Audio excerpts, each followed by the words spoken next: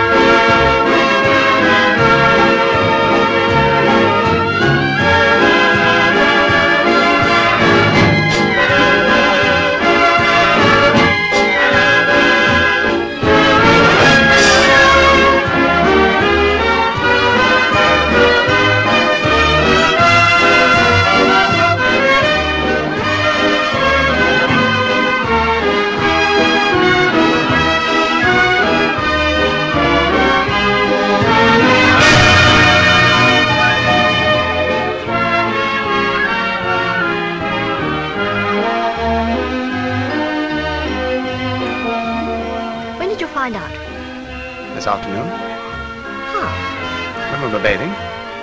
He's a boy, all right. You sure? Positive. Lucky for him. Nobody would give him away. I would. What? Certainly. Well, I'm glad he's not a girl.